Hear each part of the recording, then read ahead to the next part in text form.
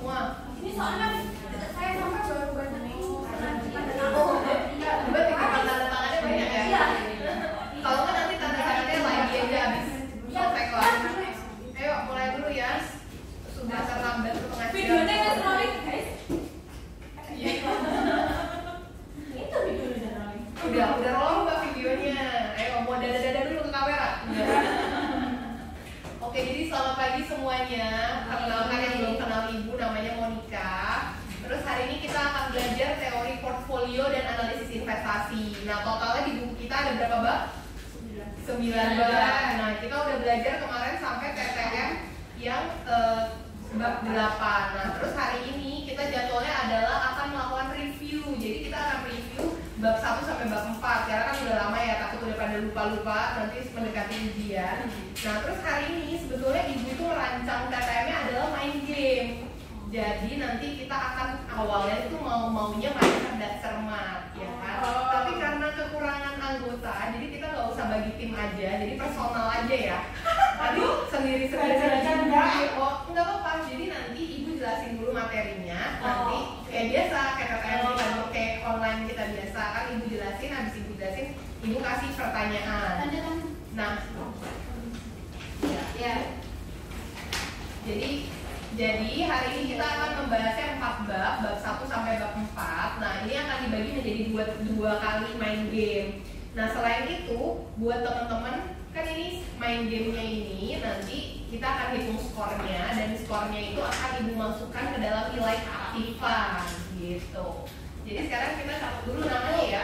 Bu, Ya. kalau skornya rendah nggak apa-apa ya? Gimana ya, Mbak? Itu rahasia ya? Rahasia ibu berarti itu ya. Rahasia ya. Ibu. Coba absen dulu sebutkan nama dari Mbak Ulin Inaya, Ulin Mbak Ulin. Terus yang nomor dua Mbak siapa? Yang. Mbak Lina. Yang nomor tiga Mbak siapa sebutnya? Mas Ria. Mbak Mas Ria. Mas Ria. Terus yang kita bu. oh Mbak Revita. Terus yang kelima sendiri. Enggak pernah Mbak Riri ya. Oke. Hebat kalau ketawa preman. Tiga panggilan. Nah, jadi ibu akan ngejelasin dua bab dulu. Yang pertama tentang ruang lingkup investasi, yang ketiga tentang eh yang kedua tentang tingkat pengembalian resiko. Diperhatikan baik-baik ya. Jadi yang pertama adalah ruang lingkup investasi ya. Kita balik lagi ke awal apa itu pengertian investasi. Ada yang masih ingat apa itu pengertian investasi? Jadi sebenarnya kalau misalnya kita bayangin ini gini aja, kita punya duit nih sekarang, selembar duit nih ya. Kita tuh punya dua pilihan. Yang pertama adalah melakukan membeli membeli barang ya kan. Misalnya kita mau membeli jeruk, ya kan. Kita punya duit, kita punya uang untuk membeli jeruk.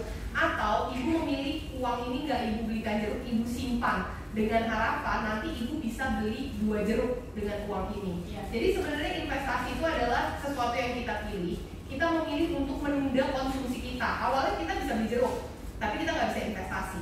Atau kita bisa investasi, tapi kita nggak bisa beli jeruk sekarang, tapi kita bisa beli jeruk nanti di ke depannya dengan harapan bisa beli dengan jumlah yang lebih banyak. Jadi apa itu investasi? Investasi itu adalah konsumsi yang ditunda. Bener nggak? Kita menunda. Awalnya mau beli jeruk, jadi sekarang eh nggak jadi beli jeruk. Ah, ntar aja beli jeruknya. Nah, dengan harapan konsumsi yang lebih besar di masa mendatang. Kalau sekarang duit ibu mungkin 100 cm bisa beli 10 biji jeruk ya kan. Nah, tapi karena ibu investasikan ke dalam mungkin deposito, ke dalam saham dan sebagainya, uang ibu 100 cm bisa berubah menjadi misalnya 130 MT ya kan. Nah, dengan 130 MT ibu bisa mendapatkan 13 biji jeruk. Lebih banyak kan daripada ibu beli sekarang. Jadi itu adalah pengertian dasar dari sebuah investasi. Nah, lalu apa sih tujuan kita melakukan sebuah investasi? Tujuannya itu ada tiga. Yang pertama adalah proteksi atas aset. E, proteksi atas aset itu e, proteksi atas aset dari kenaikan harga. Karena kan seperti yang kita tahu kalau misalnya teman-teman ngerasa sebenarnya harga eh, harga semua bahan pokok, semua harga sebetulnya itu mengalami kenaikan. Yang paling gampang adalah ketika teman-teman pergi meninggalkan Indonesia tahun berapa kira-kira? Eh, 2021 Oh, bu- meninggalkan Indonesia. Oh meninggalkan Indonesia. 2015 ya 2015 eh di 2009 Oh, aduh, pasti Mbak Lina yang paling kerasa nih. Kalau pulang ke Indonesia berasa nggak harganya tiba-tiba udah mahal semua. Nggak kayak 2009, 2015 pas kita ninggalin Indonesia. Nah itu karena sebenarnya semua harga itu mengalami kenaikan karena adanya inflasi. Nah, kenapa kita melakukan investasi? Kita itu bisa melindungi nilai tersebut karena kan nilainya naik terus kan, naik sesuai dengan harganya. Jadi itu tidak mengurangi kemampuan kita membeli barang. Coba teman-teman bayangkan teman-teman punya uang tadi 100 MT. Teman-teman orangnya kolot nih, gak usah investasi, taruh aja di bawah bantal ya. Kan? Saya taruh di bawah bantal. Lima, iya kan, lima tahun kemudian itu uang 100 MT akan tetap 100 MT. Tapi awalnya 100 MT bisa beli 10 jeruk. Lima tahun kemudian, sorry, nggak bisa lagi 10 jeruk. Boro-boro 10 jeruk dikasih permen jajannya kan cuman bisa mungkin dapat 5 jeruk. Jadi kalian tuh awalnya dengan 100 MT bisa dapat 10 jeruk, sekarang tinggal 5 jeruk. Tanpa kalian sadar, kalian itu tidak bisa membeli sebanyak dulu lagi. Nilai uangnya itu menurun. Nah, mm, makanya kenapa kita harus melakukan investasi. Nah, selain itu juga adanya eh, kenaikan konsumsi di masa mendatang. Misalnya, misalnya udah tahu nih anak mau sekolah, ya kan, atau misalnya ke depannya mau pensiun, pasti kan ada kebutuhan di masa mendatang. Jadi kita simpan uangnya untuk kebutuhan di masa mendatang. Selain itu juga karena adanya ketidakpastian pembayaran di masa mendatang. Di masa mendatang kan siapa yang tahu? Siapa yang tahu kalau selamanya kita akan kerja? Siapa yang tahu setiap bulan kita akan selalu dapat uang? Mana tahu nanti kalau misalnya kita udah akhirnya pensiun dan gak dapat uang bulanan, kita kan harus punya yang namanya tabungan, ya kan? Nah itu adalah tiga alasan kenapa kamu harus melakukan investasi. Nah lalu yang kedua itu adalah tahapan dan proses investasi. Pasti sering kan semua orang bilang jangan lupa investasi. Tapi sebenarnya caranya gimana sih? Cara yang pertama itu adalah harus menentukan tujuan investasi. Jadi investasinya ini tujuannya untuk apa? Untuk dana anak sekolah, untuk pensiun, atau misalnya ya apa pun tujuan investasi. Tujuan investasi itu nggak yang besar-besar. Misalnya pingin beli tas baru, ya kan? Itu juga sebenarnya adalah suatu tujuan, ya kan? Jadi kita harus tentuin dulu tujuan kita mau melakukan investasi itu eh, apa. Selain itu kita juga harus memperhitungkan ekspektasi pasar. Ekspektasi pasar itu maksudnya setelah kita tahu nih tujuannya untuk apa, kita pilihkan produknya. Kita tuh harus sesuai dengan ekspektasi pasar. Misalnya mau belinya deposito, bunga deposito itu kan kalau di Indonesia sekarang sekitar 6-7 persen lah ya kan. Iya. Gak mungkin kan kita mengharapkan gue pengen beli deposito tapi pengennya tingkat kembaliannya 30 persen. Sampai lebaran kambing gak bakal kejadian ya kan? Jadi harus realistis harus memperhitungkan ekspektasi pasar. Setelah itu kita juga membangun portfolio kita. Jadi portfolio itu adalah gabungan dari segala jenis produk-produk investasi itu kita sebut portfolio. Setelah kita membangun portfolio kita kita melakukan evaluasi dan juga melakukan perhitungan perhitungan kinerja nah ada dua jenis instrumen investasi yang paling terkenal yang pertama adalah surat hutang yang kedua adalah surat kepemilikan ada yang tahu saham masuknya yang mana? Saham? surat utang surat utang Saham. surat kepemilikan Iya, kalau saham itu surat kepemilikan, kalau surat utang itu tuh Obligasi. Atau biasanya sekarang kalau suka keluar itu apa SBR, ada ORI, ya kan? Sekarang ada pemerintah. Nah, terus siapa saja yang bisa berpartisipasi dalam investasi? Itu ada yang pertama adalah hedge fund. Hedge fund itu adalah reksadana. Reksadana dalam waktu yang singkat returnnya tinggi, investornya terbatas. Lalu yang kedua itu ada equity, private equity itu adalah lembaga investasi pada pada suatu saham yang memaksimumkan 20% pada satu pihak. Jadi sebenarnya siapa aja yang bisa berpartisipasi itu semua adalah bisa perusahaan, bisa individual. Nah, biasanya kalau misalnya hedge fund, equity, reksadana ini tuh dikelola oleh seorang manajer investasi. Ada yang udah familiar dengan reksadana mungkin? kali ini Oh, reksadana itu sebenarnya eh, jadi kan kalau misalnya dari masyarakat itu kan Hmm, jadi ada satu nih, ada satu perusahaan. Kita anggap perusahaan ini adalah eh, manajer investasi, orang-orang yang memang punya bekal, emang punya ilmu investasi, ya kan. Nah, terus habis itu dia mengumpulkan dana dari investor-investor. Nah, lalu sama dia itu dananya dikelola. Apa bedanya sama Kalau misalnya kita beli sendiri saham tersebut, kita itu adalah manajer investasinya. Kita kelola sendiri. Kita belum tentu punya kemampuan e, mengelola dana sebagus mereka, ya kan? Nah, makanya kita bisa menggunakan reksadana sebagai langkah awal untuk melakukan investasi. Nah, terus tadi kan dua instrumen investasi itu surat utang dan surat kepemilikan. Penjualnya bisa siapa aja yang mengeluarkan surat utang? Itu bisa individu, bisa perusahaan, bisa pemerintah. Perusahaan sama pemerintah resikonya bisa mana? Perusahaan. Hmm, benar, besar perusahaan. Nah, kalau misalnya resikonya lebih besar, dia akan membeli, memberikan tingkat pengembalian yang lebih besar, lebih besar ya. Jadi sebenarnya kalau misalnya uh, ya benar high risk high return. Kalau misalnya surat utang dari perusahaan itu umumnya returnnya lebih tinggi.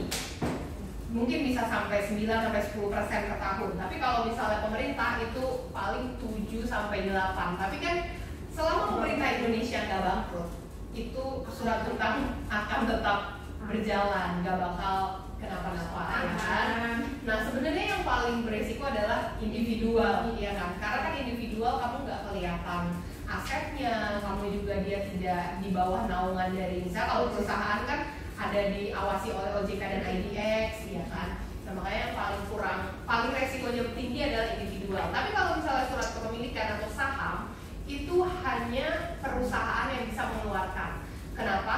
Gak mungkin kan pemerintah mengeluarkan saham pemerintah. Karena kan kepemilikan dari pemerintah Indonesia itu ya dimiliki oleh Indonesia sendiri. Gak mungkin dia mengeluarkan saham tiba-tiba nanti Amerika investasi ya kan. Dia biar nanti demo kan, ya kan. Nah, lalu siapa yang bisa? Oh iya, udah berhenti kalau nggak sekarang demo. Siapa yang bisa membeli uh, surat utang ataupun surat kepemilikan? Itu sebenarnya siapa saja? Yang pertama adalah investor eceran atau retail. Nah, retail itu kita bagi menjadi dua. Yang pertama itu investor massa, dia itu investor kecil, investor kecil-kecilan kayak kita ya individual. Nah, kalau yang kedua itu investor konglomerat atau kita sebutnya adalah investor prioritas. Dia itu diprioritaskan, dia minimal itu 500 juta. Jadi kalau misalnya kalian investor kelas kakap, itu nanti kalian masuknya ke dalam investor prioritas. Nah selain investor eceran atau yang kayak kita kita nih bisa beli, ada juga lembaga. Kalau lembaga banyak ya lembaga e, pengelola dana pensiun, asuransi, hedge fund, e, private equity, reksadana itu semua lembaga yang bisa membeli dua jenis produk ini.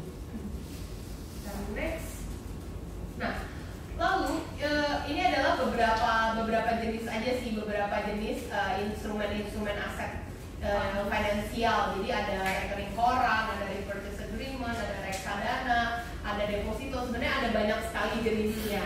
Nah, cuman banyak nih pertanyaan yang muncul ke ibu. Bu, investasi dengan produk terbaik itu apa? Ya kan? Pertanyaan paling sering yang ibu dapatkan. Jawabannya, waduh, jawabannya ada yang tahu? Jawaban investasi terbaik adalah apa? Kalau menurut saya di bidang makanan. itu perusahaan. Oh yang di sini. Bukan mbak. oh iya iya iya. Nggak mesti yang di sini. Aset finansial. Misalnya produk-produk apa sih yang paling baik untuk Kalau kayak PT investasi? Kayak PT Danone kayak gitu gitu. Soalnya dia kan apa nih mbak sahamnya Sahamnya. oh Sahamnya. kalau kalau kata mbak berinvestasi di saham paling baik berarti ya bukan paling baik sih menurut saya eh, sesuai kebutuhan enggak juga Standar yang setahu saya sih eh, lebih agak aman gitu. Aman, Soalnya ya? sahamnya naik turun. betul saham naik turun tapi kalau misalnya ditanya instrumen investasi terbaik itu apa apa mbak? Ada ada yang tahu apa yang paling baik? Nggak ada jawaban yang benar nggak ada jawaban yang salah. Oh, menurut saya yang saya terserah siapa aja. Um, semuanya ada ada sisi baiknya ada sisi uh, kurangnya. Karena uh, ini semua tergantung oleh faktor misalnya inflasi segala macam itu pasti ada naik turunnya jadi menurut saya ini uh, tergantung individu aja sih uh, untuk uh, lebih suka atau terbiasa atau lebih mengerti di bidang saham yang mana hmm. sama Bisa. di bidang market kalau saya sih Investasi saham. customer goods ya mbak Iya. Mbak sukanya customer goods ya Danone, Unilever Iya, kayak oh. gitu. karena setiap setiap apa ya investasi pasti ada resiko dan ada sisi negatifnya kalau saya sih menurut saya mungkin tergantung bagaimana kebutuhan kita atau yo kembali lagi ke percayanya kita di mana di mana Kan Kalau di sebenarnya Jerman itu kan flat. Untuk untuk anjlok itu kan harga saham harga anjlok itu lebih cenderung aman lah. hmm, Dia kan naik turun tapi lebih flat gitu. sesuai kepercayaan ya Mbak ya. Ya enggak sesuai iya lah itu kan sebenarnya sesuai riset ilmiah seperti itu. Iya. Kan Sebenarnya sama. kalau lihat dari historical price iya tapi kita kalau misalnya ngomong, ibu balik lagi ngejawab ini dulu ya. Iya. Sebenarnya apa sih investasi terbaik? Itu sebenarnya jawabannya ada di slide pertama. Apa yang kamu lakukan pertama kali ketika kamu mau melakukan investasi? Eh. Menentukan tujuan investasi. Sesuai Jadi sesuai dengan tujuannya. tujuan investasi. Kenapa ibu bilang kayak gitu? Misalnya, kamu mau berinvestasi untuk dana pensiun. Berapa tahun lagi kamu dari pensiun? Misalnya ibu 20 tahun lagi ibu mau pensiun. Jangka panjang. Yang bisa berinvestasi jangka panjang itu apa? Saham misalnya, ya kan? Nah, tapi misalnya ibu nyiapin dana anak sekolah. Dana anak sekolah misalnya 3 tahun lagi anak ibu mau masuk SMP. Ya, dia pun belum lahir ya kan ya. Mau masuk SMP. Mungkin nggak kalau misalnya ibu eh, investasi di dalam saham. Enggak, kenapa? Karena saham itu naik turun naik turun. Dalam tiga tahun kalau misalnya anak ibu tiba-tiba mau sekolah, eh, sahamnya turun, ibu masa bilang sama anak ibu tunggu ya, nanti kalau sahamnya naik kamu baru sekolah, nggak mungkin kan?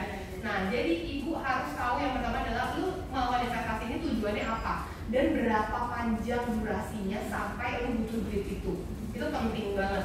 Jadi sebenarnya nggak ada nggak ada investasi terbaik ataupun terkurang baik jadi itu semua disesuaikan sama kebutuhan kalian sesuai dengan tujuan dan sesuai dengan durasi durasi itu penting banget nah selain itu iya ini adalah beberapa jenisnya ini cuma sebagai pengetahuan umum aja. Kita next Kalau kalau saham pendidikan itu lebih di- yang kayak gimana bu? Kalau untuk saham Saham pendidikan, untuk tabungan. untuk pendidikan. Tabungan, Asuransi pendidikan. asuransi, asuransi. Atau mana? Bisa eh, tergantung mbak. Mbak maunya ngelola sendiri. Atau misalnya mau ikutan yang kayak misalnya udah ada kan tabungan tabungan pendidikan kayak gitu kan tinggal ikutan tabungan pendidikan atau misalnya mbak mau eh, kelola sendiri gitu. Yang kelola sendiri itu yang seperti apa? kelola sendiri itu ya berarti mbak ya kayak tadi tentuin tujuannya tujuannya dana pendidikan terus Iya. habis itu tentukan misalnya misalnya pertama tentukan tentukan tujuannya terus habis tentukan tujuannya tentukan durasinya Assalamualaikum Waalaikumsalam. Habis tentukan durasinya, tentukan produknya. Oh gitu ya. Hmm, Nah, tapi ini minusnya adalah ribet. Mbak mesti ngelola sendiri. Karena kan kalau misalnya misalnya Mbak eh, anaknya misalnya masih 10 tahun lagi mau kuliah gitu kan. Oke. Tujuan misalnya dana pendidikan, ya kan. Nah, durasinya masih 10 tahun lagi, Iya. ya kan. 10 tahun. Produknya ini bisa beli misalnya obligasi, bisa beli saham, Iya. Nah, kalau obligasi ya udah udah beli terus habis itu ditaruh aja. Tapi kalau misalnya mbak beli saham, kan dia setiap quarter itu dia mengeluarkan laporan keuangan, ya kan? Iya. Nah, mbak harus melakukan analisis saham mbak berdasarkan laporan keuangannya Oke. setiap quarter. Iya, jadi harus kita sebutnya nanti kita belajar di bab 9 di bab 9 kita sebutnya adalah rebalancing rebalancing portfolio. Jadi rebalancing portfolio itu adalah kita berdasarkan informasi yang ada di market, kita itu melakukan rebalancing. Rebalancing itu apa ya? Adjustment gitu kayak eh, Prediksi lah. Iya, rebalancing. Jadi kita ada yang dikurangin, ada yang ditambahin Iya. kayak gitu. Nah, selanjutnya kita akan membahas yaitu adalah indeks harga saham. Nah, kalau misalnya kita tahu investasi yang paling terkenal adalah investasi saham ya kan. Tapi di mana sih kita bisa membeli suatu saham? Yang pertama kita belajar dulu apa itu pasar modal. Jadi pasar modal itu adalah sebenarnya tempat pasar itu tempat bertemunya penjual dan juga pembeli, ya kan? Nah, kalau pasar modal itu adalah tempat bertemunya penjual dan pembeli untuk semua produk keuangan. Jadi di dalamnya itu ada bank, ada lembaga keuangan, ada surat berharga dan eh, pasar modal ini diawasi oleh OJK, OJK. atau yang dulunya disebut sama Bapak Pak. Nah, lalu kalau misalnya teman-teman ada yang bertanya gimana sih cara bertransaksi saham itu sebenarnya yang pertama adalah membuka akun sekuritas. Jadi sebenarnya di di dunia ini bank itu dibagi menjadi dua, Bank itu dibagi menjadi komersial bank dan bank investasi atau yang kita sebut komer, ko- eh, sekuritas. Nah kalau misal komersial bank itu yang seperti apa bu? Komersial bank itu ya yang seperti teman-teman misalnya ada ini nggak rekening bank Taiwan? ada Ada apa post office? yes Bisa. Eh, Sunny Bank. bisa. Satu Bank. Nah itu adalah semua bank-bank komersial, Ya. bank-bank yang eh, menerima pinjaman dan juga menerima deposito. Nah kalau misalnya mau bertransaksi saham itu harus bukanya di investment bank atau kita sebutnya sekuritas. Nah lalu ada beberapa jenis bentuk pasar. Yang pertama itu adalah primary market atau pasar pertama. Ini adalah penerbit saham menawarkan langsung ke investor dengan bantuan sekuritas. Jadi misalnya ada suatu perusahaan, dia ingin melakukan IPO. IPO itu adalah initial public offering atau pertama kali ya saham misalnya kita punya perusahaan, perusahaannya bagus, perusahaan kita adalah perusahaan tertutup, belum sahamnya belum diperjualkan di masyarakat. Nah lalu kita ingin saham kita ini diperjualkan di masyarakat, masyarakat umum bisa beli misalnya kayak Danone, Unilever, BCA dan segala macam saham-saham itu. Mereka itu melewati satu proses yang disebut dengan IPO. Jadi suatu perusahaan itu misalnya dari tertutup, ini misalnya tertutup, dia itu pakai satu cara menjadi terbuka. Nah kalau misalnya perusahaannya udah terbuka, ini baru sahamnya bisa kita beli. Nah proses dari tertutup menjadi terbuka ini kita sebut dengan IPO atau Initial Public Offering. Dari tertutup ke terbuka itu namanya IPO. Iya, jadi itu adalah prosesnya. Ketika kamu mau menjual, ketika saya sebuah perusahaan, saya ingin investor umum, misalnya kayak teman-teman semuanya bisa berinvestasi di perusahaan saya, maka saya melakukan yang namanya IPO. Dengan saya melakukan IPO, maka saham saya itu bisa diperdagangkan di bursa atau di pasar modal. Jadi kita sebut adalah IPO. Nah, sebetulnya ketika kita sebuah perusahaan itu melakukan IPO, berarti dia itu pertama kali bertemu dengan investornya, ya kan? Iya. Jadi ini ini adalah misalnya perusahaan perusahaan. Perusahaan A anggap aja. Dia awalnya tertutup. Lalu dia mencari investor. Misalnya ini adalah investornya. Investornya misalnya ada investor B C D. Ya kan ini adalah investornya. Jadi ketika dia melakukan IPO ini adalah ketika perusahaan bertemu langsung dengan investornya. Maksudnya adalah investornya ini langsung eh, berinvestasi ke perusahaan tersebut dan harus melalui perusahaan sekuritas. Jadi perusahaan sekuritas itu yang membantu proses IPO ini. Nah, ketika perusahaan bertemu langsung dengan investornya, ini kita sebut dengan primary market. Primary market atau pasar perdana. Perdana nih, dia di sini. Penerbit saham menawarkan langsung ke investornya, ya kan? Jadi ini perusahaannya menawarkan langsung ke investornya. Tapi setelah misalnya saham dari perusahaan A ini dibeli oleh investor B, C, D, misalnya dia udah nggak mau lagi nih saham perusahaan A, berarti yang dia harus lakukan dia bukan balikin ke perusahaannya loh, dia akan menjual saham tersebut ke investor lain. Harus Kan? harus melalui sekuritas itu. Iya, harus melalui sekuritas. Misalnya dia nih beli saham IPO nih, and investor BCD kan beli saham IPO, belinya di pasar perdana, ya kan? Iya. Nah dia udah nggak mau nih, dia udah nggak mau, ah gue udah nggak mau nih pegang perusahaan A lagi. Iya. Orang-orang ini akan menjual kepada investor lain, dia nggak akan jual balik ke perusahaannya. Nah adalah investor lain, misalnya ada investor EFG misalnya ya kan. Nah penjualan dari investor ini ke investor yang lain itu kita bukan sebut pasar perdana, tapi pasar kedua. Pasar kedua. Iya, pasar sekunder. Sekunder. Sekunder, iya. Bu, Iya. misalkan itu saya kan kalau mau menjual ke pasar kedua itu saya harus laporan dulu ke sekuritas gitu.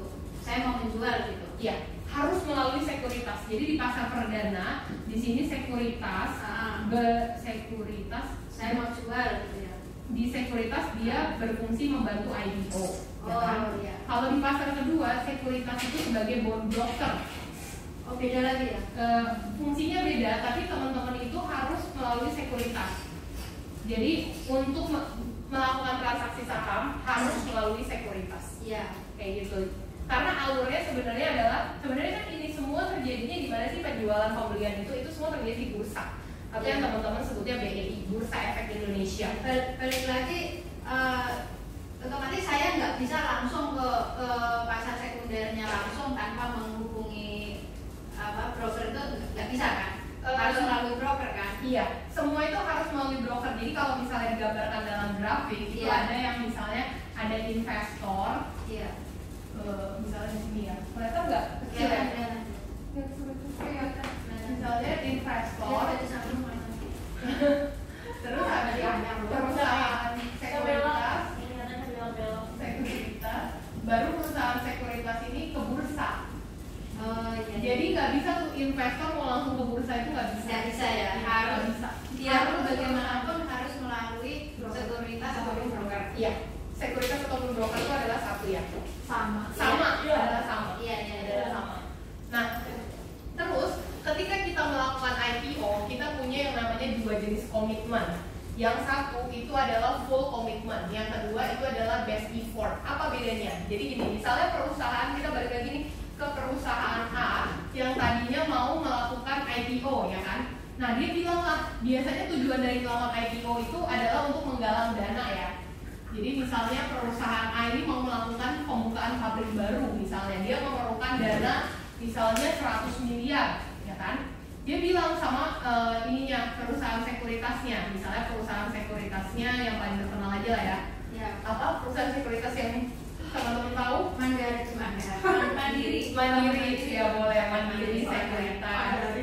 mandiri Misalnya Mandiri Sekuritas. mandiri Ya. Dia bilang sama Mandiri Sekuritas, Mandiri gue perlu dana 100 M, gue mau bikin pabrik baru. Lalu Mandiri pertama kali dia akan menawarkan best effort, dia nggak akan menawarkan full commitment. Apa itu best effort? Best effort itu adalah Mandiri bilang, oh ya udah nggak apa-apa, targetnya 100 miliar, tapi gue cari dulu investornya.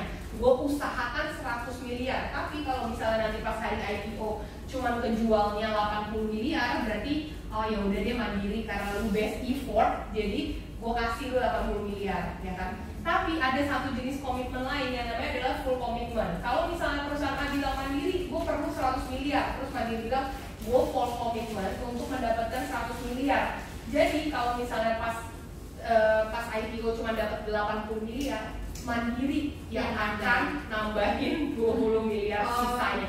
Mandiri yang akan menjadi investor, besar. Iya, mandiri yang akan menjadi sisa investor yang nggak ada, ya kan targetnya 20-nya 100, tadi. iya, targetnya 100 cuma dapat 80, 20-nya mandiri yang akan menjadi investornya. Makanya full komitmen itu adalah semua aset finansial sepenuhnya ditanggung oleh perusahaan sekuritas. 100 M-nya ini semua ditanggung sama perusahaan sekuritas. Kalau ada yang kurang, perusahaan sekuritas sorry lu harus tutupin. Kalau best effort itu tidak ada jaminan. Jadi seberapa besar perusahaan sekuritas mampu menjual, Sedapatnya. ya segitunya. Jadi umumnya perusahaan sekuritas pasti nawarinnya yang yang best effort best effort. Dia nggak bakal nawarin yang full commitment, ya kan? Bedanya Iya. antaranya best effort sama full komitmen itu kalau full komitmen tanggung jawabnya lebih full Besar. terus kalau best effort itu sedapatnya dia usaha Iya benar. Sedapatnya dia, iya. dia bukan semaunya Sedapatnya. sedapatnya Iya. sebisanya Iya sebisanya. Cuman kan sebenarnya ini kan tender-tenderan yang mandiri bisa dapet kan ada banyak perusahaan sekuritas lain Iya. kan. Iya, jadi ada persaingan di situ gitu. Jadi pasti dia kalau misalnya perusahaan yang perusahaan yang hits atau yang ini menurut dia bisa menawarkan full komitmen gitu. saya mau tanya Iya. eh, menurut ibu kalau anda kan kita mau buka eh, apa account sekuritas yang paling bagus itu di Mandiri Sekuritas apa BNI Sekuritas apa yang mana? Nanti ibu kasih tahu off report. Iyalah. Iya. Eh, Menurut pengalaman pribadi ibu sendiri, ibu pakainya sekuritas tertentu. Nah nanti ibu jelasin kenapa ibu pakai dia. Oke. ya. Sip. Off record ya. berikutnya Berikutnya kita lihat yaitu adalah pasar kedua. Tadi kan kalau pasar kedua itu adalah investor melakukan transaksi dengan bantuan sekuritas di Bursa Efek Indonesia ya kan. Ini tadi nih investor BC ini udah beli IPO ya kan. Sekarang gue udah gak mau, makanya dia tadi jualin lagi ke investor yang lain ya kan. Tapi dia masih memerlukan bantuan sekuritas tersebut dan transaksi ini dilakukan di bursa. Nah selanjutnya ada juga yang namanya adalah OTC atau over the counter. Over the counter itu adalah transaksi yang dilakukan di luar bursa. Jadi nggak nggak perlu dilakukan di dalam bursa. Tapi transaksi tersebut membutuhkan tetap membutuhkan perusahaan sekuritas. Nah ini tuh jenis-jenis misalnya kayak obligasi itu adalah yang dilakukan di luar bursa. Nah, tapi dia masih perlu perusahaan sekuritas untuk membantu dia. Nah, selanjutnya yaitu adalah pasar tunai. Pasar tunai ini terjadi ketika investor membeli langsung dengan investor lain. Setelah kesepakatan, hasilnya akan dicatatkan di bursa, tapi tanpa melalui perusahaan sekuritas. Jadi kalau perusahaan eh, pasar tunai itu, misalnya ibu punya punya punya produk tertentu, ya kan? Ibu ketemu di pembelinya, ya udah asalkan deal dealan sama pembeli dan penjual, nggak perlu melalui sekuritas ya, tidak perlu melalui perusahaan sekuritas. Ibu bisa langsung deal dealan sama dia, udah deal, nanti tinggal dicatatkan di bursa. Oh, itu bisa ya, ya? bisa juga. Itu yang kita sebut dengan pasar tunai. Lalu ada juga yang namanya adalah pasar transaksi antar investor dengan menggunakan teknologi. Ini maksudnya pembeli dan penjualnya nggak perlu ketemu langsung. Ya bisa dilakukan melalui Online. online Zamannya online lah sekarang. Pesan dikata online. kita akan membahas yaitu adalah pemesanan transaksi saham ada yang tahu apa itu short selling Short selling jual, menjual, ya menjual menjual saham. ya Mengurangi menjual saham. Jadi kalau misalnya teman-teman yang paling common dalam uh, melakukan investasi saham itu kan pasti pertama membeli saham. Kalau misalnya ibu adalah investor, ya kan? Ya, Ibu mau membeli saham, ya kan? Ini misalnya adalah saham, ya, misalnya BBCA. Nah ini ibu membeli kan? ya, Ibu membeli saham. Ibu habis membeli saham, ibu punya saham ini dong. Iya. Misalnya ibu beli harganya anggaplah dua puluh ribu, ya kan? Nah ibu udah untung nih, ibu jual, ya kan? Ibu misalnya jual BBCA ibu, misalnya ibu jual jadi dua puluh satu ribu lah, jadi banyak, ya kan? Nah umumnya orang yang normal adalah kita kita membeli dulu, setelah kita beli sampai kita beli baru kita jual, ya kan? Ini adalah yang normal. Kita punya dulu nih barangnya, Iya. baru kita jual. Tapi ada yang kita sebut adalah short selling. Kalau misalnya short selling, itu ibu gak punya barangnya, tapi ibu jual. Eh, pesan dulu. Ibu jual. Jadi nggak, jadi gini, ibu nggak punya barangnya nih, Nah. ya kan? Tapi ibu jual. Jadi kalian itu, jadi karena di bursa itu memang memperbolehkan kalian tanpa memiliki barang itu menjual, jadi kita bisa menjual. Jadi ibu pertama paginya misalnya dari pagi, ibu jual, jual misalnya dengan harga misalnya BBCA juga, ibu jual 2100 ya kan? Ya, Nah, sore misalnya karena kan ini eh, saham itu settle, saham itu settlementnya adalah T plus 2 Maksudnya T plus 2 itu apa bu? T plus 2 itu misalnya kamu beli saham T plus 2 kamu baru dapat barangnya T plus 2 kamu baru disuruh bayar gitu. Jadi kalau misalnya kamu pagi misalnya kamu tanpa punya barang nih kan kamu pagi kamu jual harganya 2100 sore harganya turun ya kan harganya turun lalu kamu beli. Tadi kan tadi pagi kamu udah jual nih tapi kan kamu nggak punya barang Iya. ya kan? Nah kamu beli misalnya harganya 20.000 ribu. Untung nggak kamu? Untung. untung kan? Untung. nah tapi kalau misalnya kamu nggak melakukan short selling tapi kamu melakukan yang biasa yang tahap biasa pagi kamu beli 21.000 ribu. Sore kamu jual 20.000 ribu. Rugi kan? Oke. rugi. Jadi short selling itu dipakai ketika kita merasa harga saham akan emang akan turun. Akan turun. Ya kan? Nah lalu kenapa Buko bisa jual dulu tanpa punya barangnya? Ya kan? Karena sebenarnya pengecekan itu dilakukan pada T plus 2 Oh. jadi akan diceknya itu pada saat T plus 2 gitu. Nah tapi kalau misalnya kita merasa saham tersebut akan naik maka kita pakai flow yang biasa aja. Beli dulu baru jual. Kalau misalnya kita merasa sahamnya akan turun maka kita short selling. Iya, short selling. Nah, tapi di Indonesia short selling tidak diperbolehkan. Kenapa kok? Tidak diperbolehkan. Memang menurut peraturan bursa belum diperbolehkan. Kayak gitu. Hanya institusi aja yang bisa. Jadi kayak bisa perusahaan bisa. Kalau kita retail investor nggak bisa. Kenapa kayak gitu? Karena resikonya tinggi banget. Misalnya lu udah jual nih, tapi lu nggak beli. Terus gimana nanti yang beli punya lu itu kan? Ya kan? Resikonya tinggi banget dari sisi yang beli gitu. Nah, terus habis itu kalau ini short selling adalah tindakan penjualan saham terlebih dahulu lalu membeli saham setelah transaksi penjualan. Jadi jual dulu baru beli. Lalu ini dilakukan jika harga saham akan turun. Jika dia merasa harga saham akan turun. Nah, selain short selling, kita ada yang namanya adalah margin. Jadi kalau misalnya margin itu margin itu sebenarnya adalah kita berhutang sama perusahaan sekuritas untuk membeli saham, ya kan? Misalnya modal kita tuh kecil, kita cuma punya modal misalnya 10 juta, ya kan? Kalau misalnya kita punya modal 10 juta, kita misalnya returnnya satu hari anggaplah misalnya satu persen, ya kan? Kita cuma bisa dapat berapa? Satu persen dari 10 juta? Seratus ribu, seratus ribu misalnya. Tapi misalnya kita punya pengetahuan yang kuat akan pasar saham, kita bisa melakukan margin. Jadi awalnya misalnya cuma 10 juta, kita pinjam sama bank. Jadi misalnya tambah jadi 100 juta. Jadi 110 juta ya kan. Returnnya tetap sama satu persen. Tapi keuntungan yang kita dapat beda kan. 100 juta satu persennya adalah satu juta ya 1,1 juta. Nah jadi kamu bisa melipat gandakan keuntungan kamu dari 100 ribu jadi satu juta dengan cara kamu meminjam uang. Ini adalah pinjaman atau yang kita sebut dengan margin.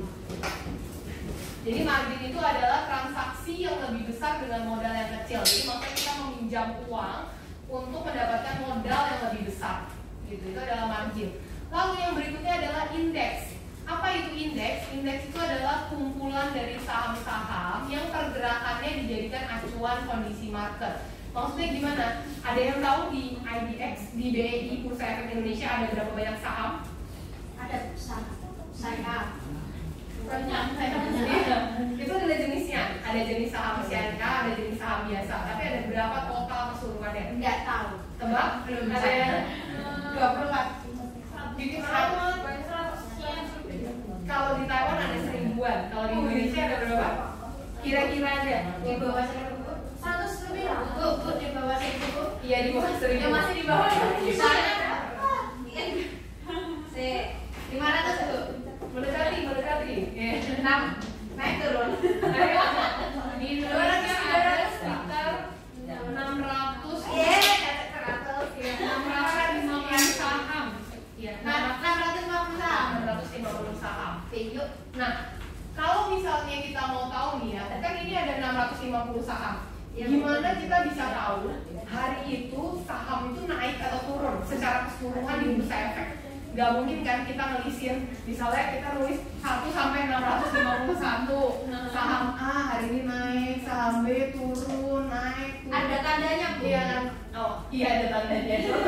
Nggak mungkin kan kita eh, kita mesti ngelisin 1 sampai 651 itu mesti ngitung ya kan. iya Nah, kita bisa lihat yang kita sebut adalah indeks.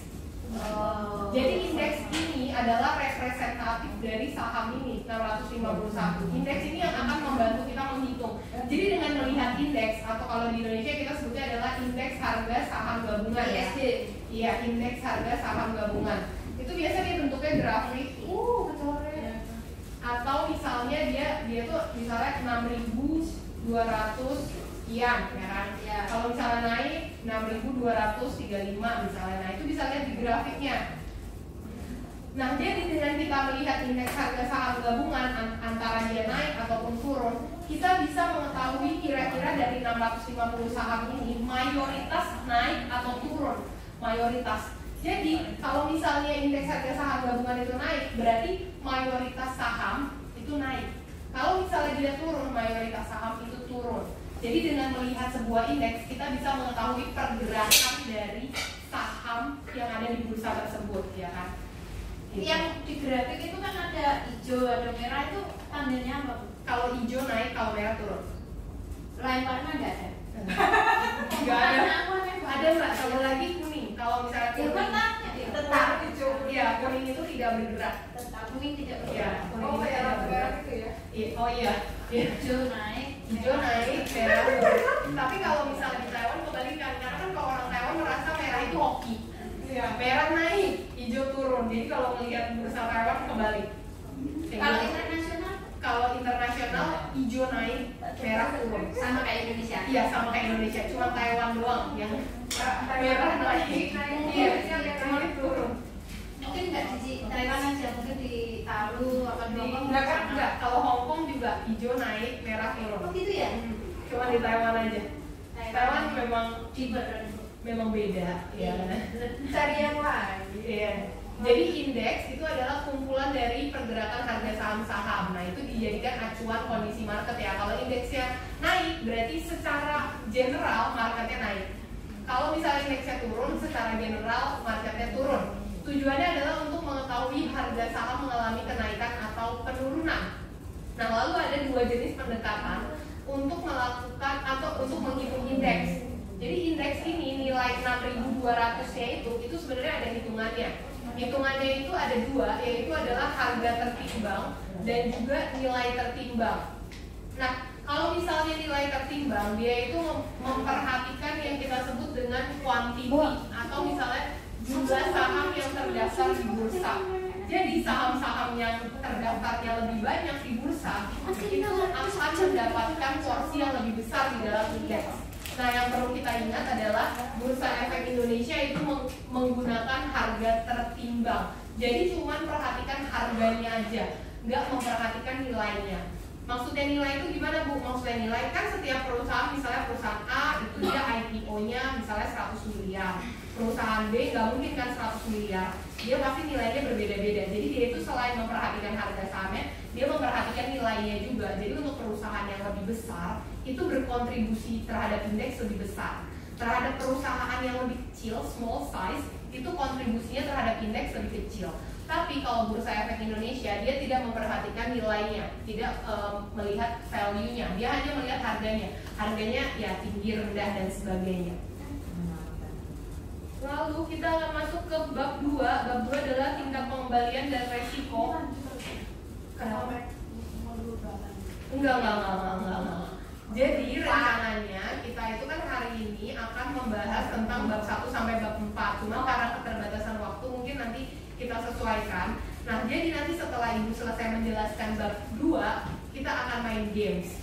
Nah gamesnya itu adalah ya games biasa. Jadi akan ada pertanyaan Lalu juga akan ada eh, Soalnya ada esai sama ada soal pilihan ganda. Nah jadi nanti rebutan cepet-cepetan Nah, Bu, yang Bu, jangan cepet-cepetan dibuat saja. Bu. pusing Saya soalnya orangnya tunjuk tangan, tunjuk tangan, ya kan? Nanti, ya kan? Yang mendapatkan kalau nggak kebagian gimana? enggak. Jadi nanti karena muridnya udah banyak, tadi kan dikit. Kalau udah banyak jadi dibagi grup. Nah, nanti buat yang apa namanya nilainya lebih tinggi, yang menang, tim yang menang itu akan mendapatkan 10 poin nilai tambahan di bagian keaktifan. Yang kalah akan mendapatkan 5 poin. Gak sadis-sadis banget ya? Tujuh Bu. Mau beli. Saya kan kita jual beli saham. Oh iya. Saham aja harganya nggak bisa ya mbak. Tetap. Belajar. Iya. Belajar nama. Iya. Pertanyaannya rata-rata semua dari buku kok. Saya lima cukup kok. Oh, aduh. Udah nyerah Kan gitu. dia udah banyak poin keaktifannya. Orangnya sudah terlalu banyak ya bu Aduh. Saya karena saya hiperaktif Bu. Oke ya kita bahas bab yang kedua. Bab yang kedua itu tadi adalah tingkat pengembalian. Tingkat pengembalian portfolio yang pertama yang perlu kita tahu adalah utilitas. Ada yang masih ingat apa itu utilitas? Manfaat. Manfaat. Ya, utilitas itu manfaat atau tingkat kebahagiaan. Ya. Jadi sebenarnya yang paling gampang waktu itu ibu ngejelasinnya adalah ketika kita beli satu barang. Kepuasan Ya, tuh. Iya. Misalnya ibu nih ya dikasih jeruk satu, bahagia bahagia banget. Coba lu bayangin kalau ibu tiap hari dikasih jeruk satu satu Satu, satu. iya, hari saja. sepuluh ibu udah dapet jeruk astagfirullah jeruk lagi nih gak ada yang lain, ya kan? Nah itu adalah yang kita sebut dengan utilitas. Utilitas itu adalah tingkat kebahagiaan ketika kita mendapatkan suatu barang, ya kan? Punya suami satu bahagia. Gimana kalau punya suami empat ya? Ya kan? Sudah bosan kan? Jadi itu adalah yang kita sebut utilitas. Utilitas itu adalah kegunaan manfaat dari suatu barang, jasa atau investasi yang kita lakukan. Tapi tingkat utilitas itu tergantung dari eh, frekuensi, ya kan? Yang kayak tadi. Bu, utilitas itu bisa disebut kepuasan nggak? Utilitas itu bisa dari di tempatnya mana? eh, sebenarnya tingkat kebahagiaan ya, tingkat Sama kepuasan apa nggak beda? ya sama sih, cuman bahasa kerennya utilitas. sama. Iya, Gitu. maksudnya penjabaran bahasa Indonesia neos. Bahagia sampai puas nggak sama. nggak sama Oh, gitu. nggak sama Nggak sama kata dia. Iya, berarti Kalau tingkat kepuasan- kepuasan, tingkat kepuasan. kita kan merasa puas sudah bahagia tapi bahagia belum tentu Belum puas. banget.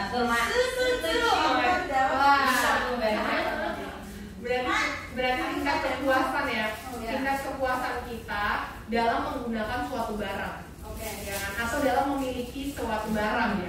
Oke. Puas nih punya satu jeruk, punya 10 jeruk, ya udah lah ya, tingkat kepuasannya udah menurun gitu kan. Oh. Nah, terus habis itu ada tiga jenis investor. Yang pertama itu adalah orang-orang yang sangat menyukai resiko, ya kan? Suka banget, jadi feeling excited kalau misalnya harga saham naik turun naik turun itu dia excited banget. Ada orang-orang yang netral. Orang yang netral itu adalah orang yang logis. Yang gimana? Yang kayak gini, gue berani nih ngambil resiko ini. Tapi kalau misalnya gue ngambil resiko besar, returnnya juga harus Besar. Ya, nggak mungkin kan kalau misalnya gue udah menanggung resiko segede gini, lo kasih gue return segini, nggak mau gue. Gue adalah orang yang netral. Berarti kalau yang netral ini dia Rasional. uh, cara melihatnya itu uh, harus melalui riset ilmiah itu tadi ya. Eh, iya, atau sebenarnya dia melalui perbandingan, mbak. Jadi dia pinginnya kalau misalnya resiko yang gue tanggung besar, return gue besar. Tapi kalau misalnya orang yang risk lover atau penyuka resiko, gue tuh excited ketika mendapatkan sebuah resiko, ya. Gue Iya. senang ketika mendapatkan resiko, ya kan. Kalau misalnya kebetulan returnnya tinggi, alhamdulillah. Kalau misalnya returnnya kecil, Ya, gue terima. Iya, gitu itu bedanya.